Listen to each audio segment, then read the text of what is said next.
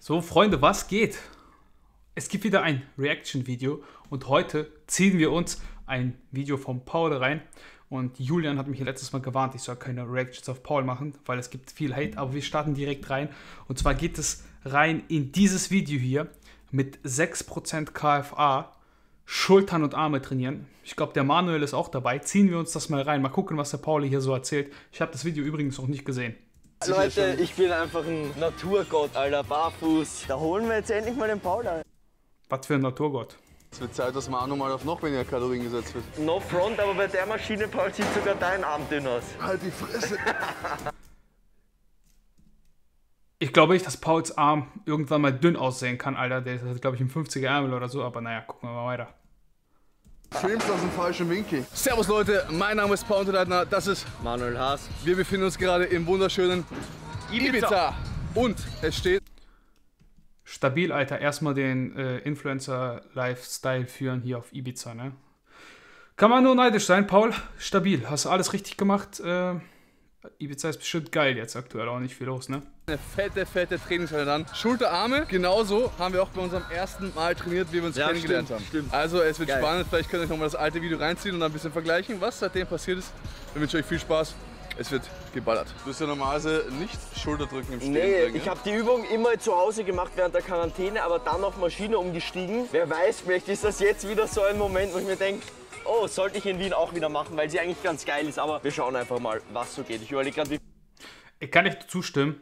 Ohne Scheiß, während der Quarantäne hat man ja meist so Übungen gemacht, äh, die man wahrscheinlich im Gym aus Bequemlichkeit nicht so macht. So wie der Manuel. Ähm, Schulterdrücken im Stehen, übelst geile Übung. Ähm, aus Bequemlichkeit macht man dann meistens sowas wie Schulterdrücken äh, im Sitzen mit Kurzhanteln oder so.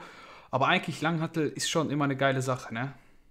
Weight ich mache. Damit Ich mache jetzt auf jeden Fall noch eine, noch eine Zehner drauf. Ich meinte eigentlich statt der schwarzen, aber egal. Mach ich 10 plus 10 plus 5 sind 25. Warte, was haben wir da jetzt? Achso, jo, das sind 70 Kilo, ne? Stabil, Alter. Nee, warte, was für 70? Warte, 10 plus 10 sind 20? Doch, das sind 60. Plus 5 sind 70.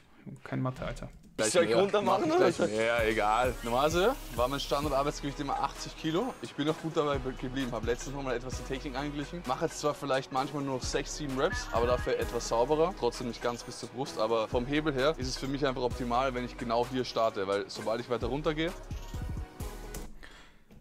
Das ist beim Paul ja auch immer so eine geile Sache. Also der Paul sieht absolut brutal aus, ne? Aber wenn man mal seine Leistung vergleicht mit Leuten, die beispielsweise Powerlifting oder so machen, dann hat er ja absolut lächerliche Kraftwerte, ne? Also jetzt noch Front an der Stelle, aber ähm, der wiegt 100 plus Kilo, macht mit 80 bis 70 Kilo Schulterdrücken. Das ist jetzt nicht extrem, ne? Wobei er sieht halt um einiges mehr aus. Das ist ja das Bewundernswerte daran. Ich glaube, er squattet auch irgendwie nur mit 130 Kilo. Ist krass. Also, da sieht man mal, Gewicht ist nicht alles, ne? Schiebe meine Ellbogen nach hinten und es macht einfach keinen Sinn für die Handgelenkstabilität und generell für den Unterarm. Deshalb versuche ich es hier vorne zu lassen und dann einfach nur so weit Dann runter ist zu auch gehen. keine Spannung mehr auf der Schulter, oder? Wenn du oben so weit Genau. 20, 60, 70 Kilo schon, okay. Also 10 Kilo vom Arbeitsgewicht. Mal sehen, wie sich das Baby hier gleich anfühlt. Ich muss ein bisschen tiefer rausnehmen, weil Manuel ist der Zwerg hier. Aber es sollte funktionieren. Junge, Ja, das sieht bei der Paulo, der nimmt natürlich, wie er es vorhin gesagt hat, nicht die ganze Range of Motion mit. Kann ich einerseits verstehen, auf der anderen Seite lässt er natürlich vielleicht ein paar Gains liegen, aber so ja, neigt man nicht dazu, zu, die Schulter nach vorne kippen zu lassen und hat natürlich auch weniger Verletzungsgefahr. Aber dann kommt natürlich die äh, ja, Technikpolizei und sagt, Junge, Junge, da gehen noch 2-3 Zentimeter. Aber ich denke mal, wenn der Paul da ein gutes Gefühl mit hat, dann äh, ist das die bessere Wahl für ihn. Okay. Pretty damn nice. Der einzige Kack ist, ich habe gestern auch hier gesquattet, also vorgestern. Und der Boden ist leider sehr, sehr instabil. deswegen barfuß, so wie ich, Alter. Vielleicht soll ich es deshalb so wie der Manu machen. Junge, macht niemals barfuß in irgendeinem Gym, wo ihr keine Ahnung habt, was für Leute da rumlaufen. Training. Auch das ist genau das gleiche, als würdet ihr in, in ein Freibad gehen, äh, beziehungsweise ins Schwimmbad und dann da in der Umkleide barfuß rumlaufen. Fußpilzgefahr hoch 10, ey. Also klar, kann man machen, ne? aber ich meine jetzt nur, wenn man sicher gehen will, ist sicherlich nicht das Hygienischste. Für ihn jetzt persönlich. Ich meine, die anderen juckt ja nicht am Schuh an. Aber Ja, Leute, ich bin einfach ein Naturgott, Alter, barfuß. Ja, siehst Könnt aus wie, ihr auch nackt trainieren, du Digga. siehst aus wie so ein Cant aus, keine Ahnung.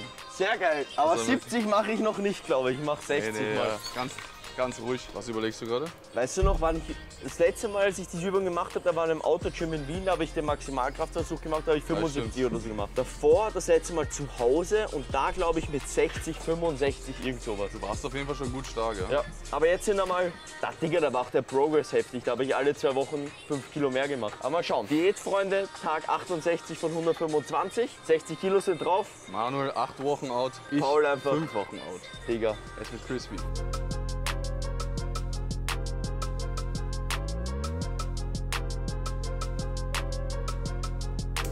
Schon krass, wenn man bedenkt, dass der Manuel locker im Kopf kleiner ist und auch mal so 20 Kilo weniger wiegt, dass er fast genauso viel nimmt wie Paul. Ne? Das, äh, würde mal sagen, der Manuel hat deutlich mehr Kraftpotenzial als der Paul. Auch wenn der Paul brutaler aussieht. Ne? Spannend.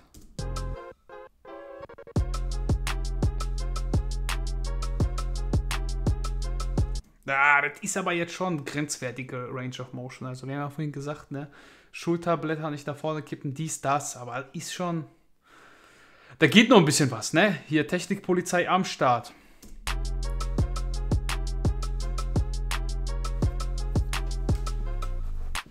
Mittlerweile ist mir die Kraft scheißegal, weil ich einfach nur in Shape kommen will und auf den Wettkampf hinfieber. Also das ist halt geil, so die letzten 35, 36 Tage. Ich will einfach nur shredded kommen. Ob ich jetzt schwach werde, muss ich hinnehmen. Gehört dazu. Als Neddy leider nicht vermeidbar. Oh, aber da sagt er was, ne? Als Neddy. Na, der Paul, der Untergleitner hier. Gather round, ain't no room for segregation. What I found is the truth is medication. Stand my ground when I think of hesitation. Hey, white Jesus came through, this some bad in the hood. White Wir gehen gleich weiter. Ich muss sagen, der, der hier, gucken wir mal nochmal zurück hier, der Manuel, der gefällt mir da um einiges besser, auch von der Technik. Guckt euch mal den Paul an. Hier, gerade so bis zum Kinn und dann wieder hochschmeißen, ne? Und der Manuel, der geht richtig schön runter, ne? Also, zack, habt ihr gesehen? Brutal.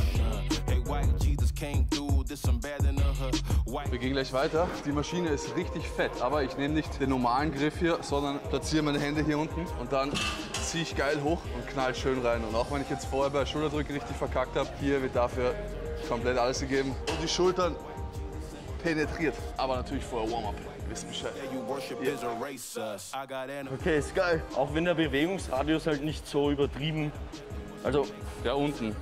aber trotzdem sehr geil. Geil ist, da kann man auch keinen Schwung holen. Das heißt, ihr könnt nicht cheaten. Ja, ey, Seithebemaschinen sind mit das Brutalste, was es gibt. Also, wenn ihr ein richtig geiles Gefühl haben wollt in der Schulter, auf jeden Fall Seithebemaschine. Kann ich nur zustimmen. Jetzt erstmal Gewicht drauf hier. Ne?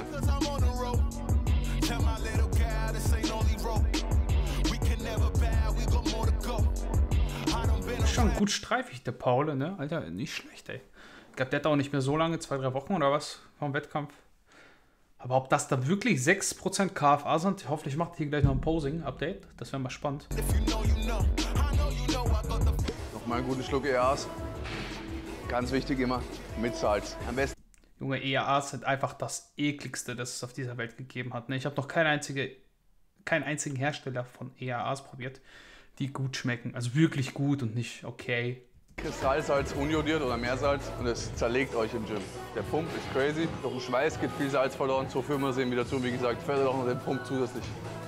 Besser geht's nicht. Jesus was a Middle Eastern Jew. I can hear speaking, what's the reason for your views? Videoskills sind auch am Start, ne, bei den beiden.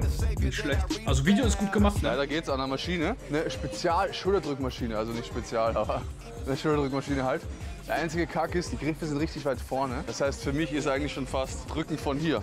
Jetzt habe ich einen voller darauf aufmerksam gemacht. Wieso nicht einfach mal verkehrt rum reinsetzen? Das werde ich genau heute probieren, wenn der Sitz noch ein bisschen tiefer ist. Dann drückst du auch so ein bisschen leicht mit deinem Kopf, oder? Genau, und dann habe ich mehr Schulterbelastung. Okay, Man sieht das hier auf jeden Fall einfach perfekt im Spiegel, Leute. Bam. Ja, ist auf jeden Fall deutlich besser als andersrum. Ist geil, aber gut schwer auf jeden Fall. Also viel mehr brauche ich da definitiv nicht. Aber da hat der Paul einen guten Tipp gegeben. Das äh, können sich alle mal angucken. Meistens geht, also die meisten Schulterpressen gehen dann immer irgendwie so nach vorne. Das ist dann eher so, weiß nicht, obere Brust. Belastung, anstatt wirklich, äh, dass sie hinter den Kopf so ein bisschen gehen. Ne? Das ist eigentlich dann immer ein guter Tipp, sich andersrum reinzusetzen und das mal auszuprobieren. Schauen wir mal, was Manu jetzt zaubert. Easy. Chillig. Also genau so hätte ich das auch gemacht. War nur ein Warm-Up-Satz. Kraft ist da. Wie viel hat Aber die Frage ist, warum nehmen die nicht dann einfach Kurzhantel, ne? Ist dann ein bisschen praktischer wahrscheinlich, wenn die Maschine nicht so toll ist.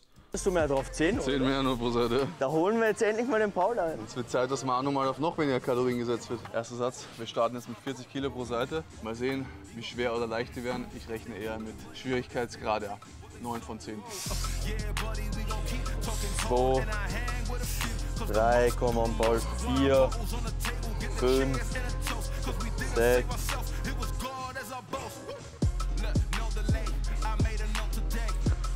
Form ist schon nicht schlecht, ey. Mein Power. Sehr schön, komm.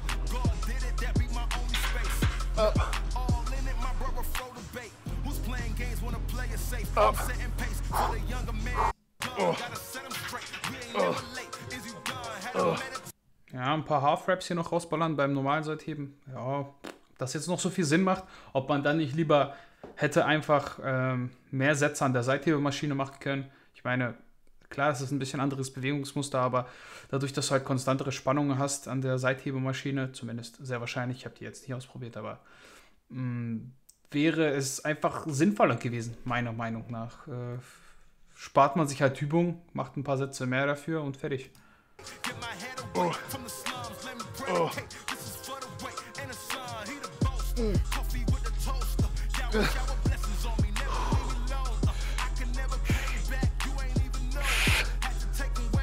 Streifen sind da, Teilung ist da total, Alter. Muss schon sagen. Der Supersatz, der zerlegt dich auf jeden Fall. Ach, die haben das im Supersatz gemacht, ne? Ja, hier, guck mal. Das ist hier mal ein richtig naturaler Vergleich. Das ist der Manuel. das ist der Paul. Das ist der Manuel. Das ist der Paul. Nein. Paul ist natürlich ein bisschen leaner, ne? Das kann schon mal den Einschein erwecken, dass da jemand ein bisschen nachhilft, aber muss natürlich nicht sein, ne? Ich finde, beim Paul ist das sowieso immer so. Wenn der voll im Saft ist äh, und dann richtig Post, geiles Licht benutzt, dann denkt man so direkt, ja, Junge, der kann doch nicht netti sein. Aber wenn er dann ein bisschen leaner wird und man sich das mal so wirklich vor die Augen führt, ja, okay, der Typ gibt halt alles, ne, das ist schon noch was anderes. Oh, guck mal hier, Nachrichten, perfekt halt. Yeah, buddy,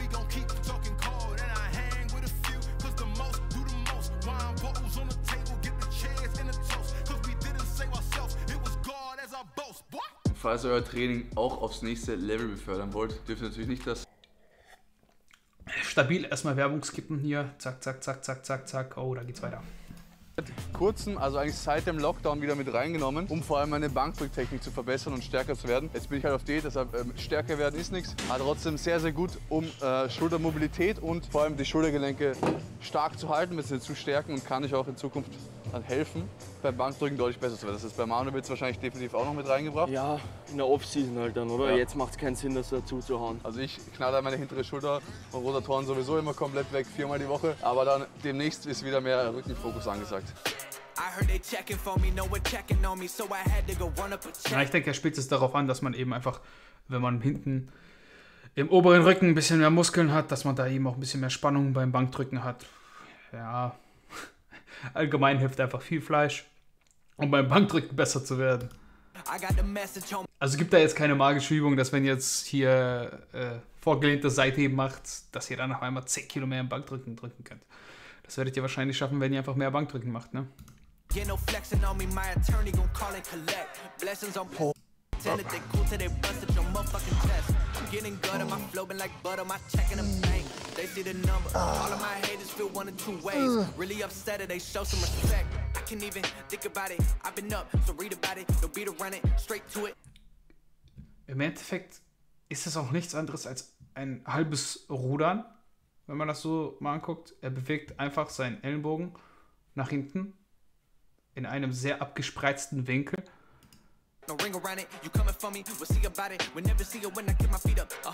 Also alle, die jetzt viel rudern, werden wahrscheinlich fast dasselbe erreichen, wenn sie dann einfach mal ein bisschen breiter greifen, wie bei der letzten Zeit ersetzen. Aber naja. Ihr wisst Bescheid, bei Armen mache ich keine halben Sachen. Deshalb wie immer Full Stack Scott Curl. Die Maschine ist auch richtig fett, ballert gut rein. Im Supersatz, Trizepsstrecken über Kopf, der ultimative Supersatz. Sitzt natürlich wie immer ganz unten, weil große Menschen brauchen viel Stretch. Blessings on blessings for me. My successes only made them envious. They got upset. I had to put all their egos in check. I had to. I had to. uh. Ja, er trainiert ja diesen Arnold Split. Ich habe mich gerade gefragt, warum denn jetzt Bizeps dran kommt. Ähm, weil er ja so ein Brust, Rücken, Schulter, Arme und dann Beine-Split hat. Deshalb fängt er dann mit Bizeps jetzt an, macht er hier ein paar Scott Curls, gibt mir ein bisschen, ein bisschen ja, dicke Arme hat auf jeden Fall der Paule. Äh, da gucken was er für Geheimtipps hier hat. Also er macht ein bisschen Scott Curls. Und über No Kopf front, Trizeps. aber bei der Maschine, Paul, sieht sogar dein Arm dünn aus. Halt die Fresse. Du filmst aus dem falschen Winkel. Okay, da sieht er wieder fett aus. Ja. Das Gewicht ist ein bisschen zu schwer. Ja, da sieht man ja, der Paule, ne? der Schlingel, Alter, hat er hier immer die guten Winkel am Start, ne? Da kennt er sich aus. Deswegen sieht er also immer so breit aus. Muss ich die linke Seite natürlich trotzdem auch machen. Yes, sehr schön.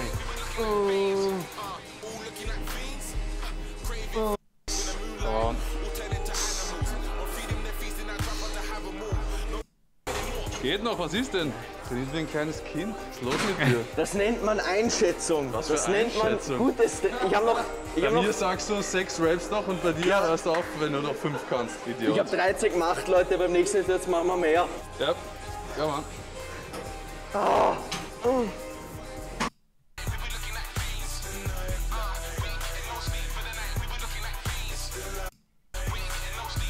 Nochmal eine Bizepsübung, aber ich war immer standardgemäß bei einer, weil es definitiv gereicht hat für mich. Meine Arme sind halt sowieso keine Schwachstelle, aber noch eine Trizepsübung hinterher. Geht immer, deshalb Trizeps strecken, bzw. Trizeps drücken am Kabel, schön schwer, schön reinballern. Also verstehe ich jetzt richtig, der Paula macht eine Bizepsübung, zwei Trizepsübungen. Ich habe jetzt nicht gehört, wie viele Sätze, vielleicht habe ich auch was geskip- geskippt, aber ich schätze mal so sechs bis acht oder so. Also zusammen beides jetzt. Und äh, natürlich hoffentlich halbwegs Full Range of Motion.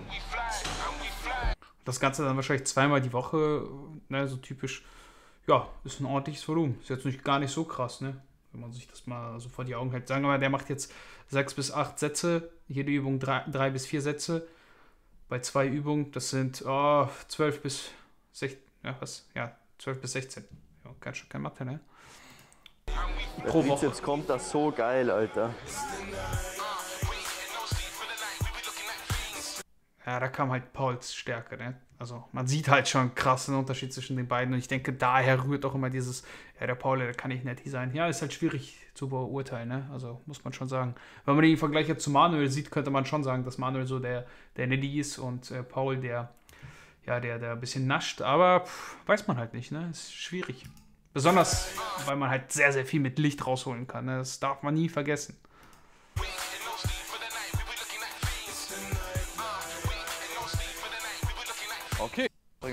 Noch kurzer Abs-Check. Was sagen die? Ja, es war auf jeden Fall eine anstrengende Session. Wir sind beide durch. Falls ihr noch mein Posing sehen wollt, schreibt es auch gerne in die Kommentare. Manuel hat seinen Püschel verloren, aber es macht nichts. Ansonsten war es das von dem Video. Ich hoffe, es hat gefallen. Lasst ein Like da. Hat Bock gemacht. Wir haben gut War ein echt geiles Training. Das ist geil, Leute. Beide auf Wettkampf können uns beide. Ja, ich dachte, jetzt kommt ein Posing. Also kam nicht viel. Äh, ja, was soll man zu deren Training sagen? Stabil, die Jungs trainieren hart, die Jungs trainieren viel Volumen. Ähm, mich wundert halt, dass der Manuel echt so viel macht wie der Paule. Ist schon krass, weil man muss ja so denken, der Manuel ist ja jetzt nicht so weit fortgeschritten wie der Paul, also braucht er wahrscheinlich gar nicht so viel Volumen, gar nicht so viel Frequenz. Ähm, aber ja, macht ihm wahrscheinlich einfach Spaß, so viel zu trainieren. Ich weiß auch nicht, ob er jetzt wirklich äh, zweimal die Woche den Trainingsplan durchzieht, ähm, was schon sportlich ist. Also das sind sechs Trainingseinheiten die Woche. Nicht schlecht, ne? Ähm, ja, ihr könnt euch ja selbst einen Eindruck davon machen. Ich finde das Training jetzt nicht schlecht. Ich habe es mal ausprobiert. Ich habe mal so ähnlich trainiert. Ich, das Einzige, was ich jetzt nicht unbedingt für sinnvoll erachte, ist einfach das zweimal äh, Seitheben zu machen. Wenn du einmal eine Maschine hast, dann noch mit Kurzhantel, dann mach einfach die Maschine und gut ist. Ein paar Sätze mehr. Ansonsten stabiles Training. Ich persönlich hätte wahrscheinlich eher sowas wie Facepulse anstatt Reverse ähm, Seitheben gemacht. Also anstatt vorgebeugten Seitheben. Aber das ist ja jedem selbst überlassen. Da kann man auch sehr individuell rangehen. Stabiles Training. Ich hoffe, euch hat es gefallen. Leute, lasst auf jeden Fall ein Like da, lasst ein Abo da und ähm, ja, bis zum nächsten Mal. Ciao.